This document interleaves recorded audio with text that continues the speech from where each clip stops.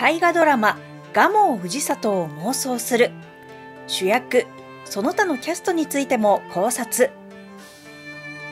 かつて織田信長がその才を認めその器量を恐れた秀吉は機内から遠ざけたとも伝わる戦国武将は誰でしょう。それは蒲生氏里です。氏里は文武両道のみならず茶道や和歌にも秀でた天才。特に茶道では千利休の皇帝利休七鉄の一人に数えられその中でも筆頭だったと伝わります。また氏里は領地経営にも長けていました。氏里が治めた地はいずれも多くの商人たちが集いその町並みは大きく発展したのです。そして戦では家臣の誰よりも先頭に立って戦場をかける勇猛果敢さを見せたといいます。そんな氏里であればこそ多くの家臣や領民から慕われ名君としてその名を歴史に刻んだのでしょう。そこで今回は名君の代表格ともいえる蒲生氏里の大河ドラマを妄想してみます。蒲生氏里は天下人にも認められた器量人。蒲生氏里といえば近江の日野城主蒲生片秀の三男坊。蒲生氏は鎌倉時代から続く名門の家柄で近江守護六角氏の重臣です。特に祖父蒲生貞秀は内政軍事のいずれにも優れ六角氏滅亡まで宿老としてその名を連ねた名将。文武両道と謳われる氏里はそんな祖父の才能を受け継いだのかもしれません。また氏里は12歳で人質として織田家に送られました。その織田家では西見の三人衆の一人稲葉一徹が氏里の将来性を高く評価したそうです。もちろん織田家当主の信長も自分の娘を嫁がせるほど氏里の器量を高く買っていました。織田信長といえば身分に関係なく才能ある家臣を登用したことで有名です。しかし信長は重要な家臣団中枢を身内で固めていたことも事実です。例えば嫡男信忠をはじめとした息子たちや織田信兼といった弟たち。そして甥の織田信純など。特に信純はかつて自分に対して二度も謀反を企てた弟。織田信勝の息子にもかかわらず側近として重用しています。それだけに氏里が信長の娘婿となった事実は重要な意味を持っている気がしてしまいます。逆にその優秀さに脅威を感じていたかもしれないのが豊臣秀吉です。諸説ありますが秀吉は氏里を恐れるあまり機内から遠ざけ遠く欧州会津への転封を決めたともまた秀吉が100万の大軍を任せるとしたら前田利家や徳川家康よりも氏里を推したという話もあります。いずれの逸話も氏里自身が天下人に足る才覚があったことを示すものであって、誇張された話なのかもしれません。しかし秀吉は自身を見出してくれた信長公が認めていたこともあって、誰よりも氏里を警戒していたことは間違いなさそうです。このように天下人にも認められていた氏里ですが、江戸時代に入る前、40歳という若さで亡くなってしまいます。氏里がもっと長く生きていたら、関ヶ原の戦いはどうなっていたのかが気になるところですが、それはまた別の話。大河ドラマ、蒲生氏里の法制を妄想する。前述のように蒲生氏里が仕えた主君は織田信長と豊臣秀吉の2人。となると大河ドラマ蒲生氏里では少なくとも織田家臣時代と豊臣家臣時代の2部構成にした方が良さそうです。本能寺の変が話の切れ目になるでしょう。しかし私としては豊臣家臣時代をさらに2つに分けた構成にしたいです。なぜなら氏里の領地経営の手腕に着目したいから。氏里は生まれた地である日野をはじめとして、その後治めた松ヶ島や松坂、そして会津、いずれの地でも商業を中心とした町づくりに成功しています。それは祖父、蒲生貞秀の影響も大きいでしょう。祖父、貞秀の最初の主君は、楽市楽座の先駆者と伝わる六角貞頼です。六角貞頼は観音寺城下に楽一令を出すことで多くの商人を集め一大商業都市に発展させています。貞秀もそれに倣って日野商人を城下に集め日野を商いの豊かな町に成長させたのです。氏里が日野城主を引き継いだ頃には当然日野商人と日野の町並みを受け継いでいます。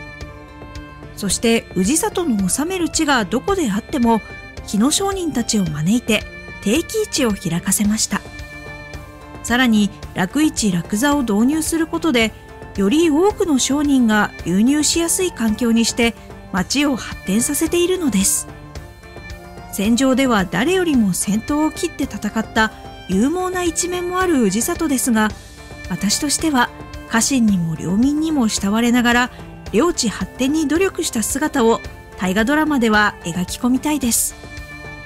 そこで私の考える大河ドラマ、蒲生氏里は以下のような構成にしてみました。第1部、日野編、誕生から本能寺の編まで、近江日野城主時代。第2部、伊勢編、本能寺の編以降から欧州入りまで、伊勢の松ヶ島、松坂統治時代。最終章、欧州入りから晩年まで、欧州の会津統治時代。つまり、氏里が手腕を発揮した領地単位で構成を分けました。最終章は、達政宗と一触即発もあるかのような緊張感漂う場面もあります。その点を踏まえても、豊臣家臣時代は2部に分かれていた方が盛り上がるでしょう。皆さんならどんな構成にしますか？ぜひ大河ドラマの脚本家になったつもりで考えてみてください。大河ドラマ、蒲生氏里に入れたいエピソード。蒲生氏里に限らず、戦国武将たちには数多くのエピソードがあります。真偽不明な伝承が多いことも事実ですが、その武将の人となりを知る上では重要だったりもします。そこで私個人の主観ではありますが、大河ドラマ蒲生氏里に入れたいエピソードを2つ紹介します。まず1つ目は、蒲生氏里の戦場での勇猛さを表すエピソード。氏里は新入りの家臣が入ってきた時には必ずこう話したそうです。ナマズ王の銀の兜をかぶった者が先陣を切っていたら、そいつに負けぬように働け。ナマズオカブトをかぶったものとは他でもないガモ氏里のことです。ナマズは古来より地震を起こしたり余地のできる生き物として恐れられていました。そのため敵を恐れさせる意味合いを込めてナマズオカブトを採用していた武将もいたのです。氏里はまさにその一人。前述の話は新入りの部下に葉っぱをかけるための言葉なのでしょう。しかし、氏里自身も家臣に負けず劣らず勇んでいる姿が想像できて好きなエピソードの一つです。二つ目のエピソードは、氏里と高山右近、細川忠興の関係性を表す話です。高山右近も細川忠興も氏里同様に利休七鉄に数えられる千利休の皇帝。三人とも茶道に深く傾倒した武将として有名ですが、この三人は特に親しい間柄だったと伝わります。その中でも三人の仲良しエピソードといえば、小田原の陣で高山右近が用意した牛肉を三人で囲んで食べたという話。このほっこりするエピソード、個人的には絶対大河ドラマ蒲生氏里に欠かせないシーンです。また氏里と高山右近は無二の親友のような旗から見ても良好な関係その一方で氏里と細川忠興は若い頃からお互いの悪口を言い合っていたそうです悪態をついてはいても実は裏では認め合っている氏里と細川忠興はそういう間柄だったのかもしれません。この3人が一緒に映るシーンを数多く盛り込んだ大河ドラマ、蒲生氏里。見てみたいと思いませんか？大河ドラマ、蒲生氏里の主演キャスト陣を妄想しよう。それでは、大河ドラマ、蒲生氏里の主演キャスト陣を妄想してみましょう。私なりに考えたキャスト陣はこちらです。蒲生氏里、1556年生まれ、主人公、信長も認める器量人。中川大志、東京出身、大河ドラマ4作出演。真田丸では豊臣秀頼役。蒲生貞秀、1508年生まれ、氏里の祖父、六角氏宿老。中井貴一、東京出身、大河ドラマ。5作出演。武田信玄では。武田信玄役。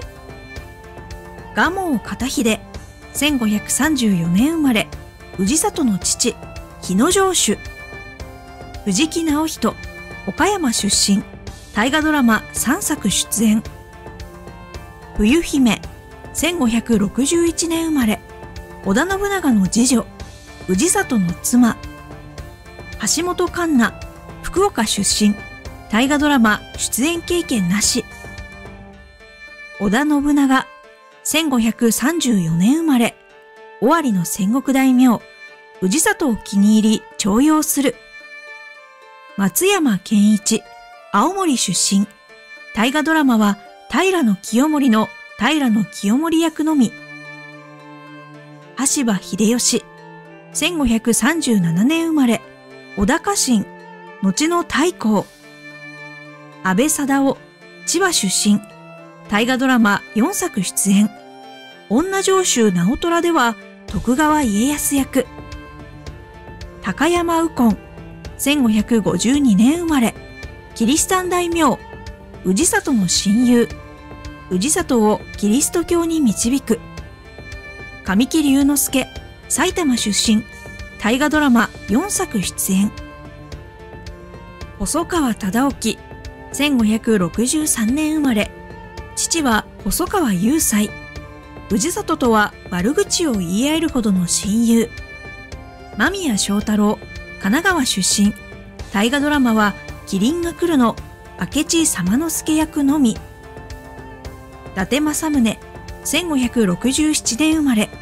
欧州の戦国大名、氏里敵士山崎賢人東京出身大河ドラマ出演経験なし皆さんの考えるキャスト陣と比べるとどうでしょう？もし私の考えたキャスト陣で何か気づかれた方は大河ドラマ通な方でしょうまとめ今回は大河ドラマ蒲生氏里を妄想してみました限りあれば坂根戸花は散るものを、心短き春の山風。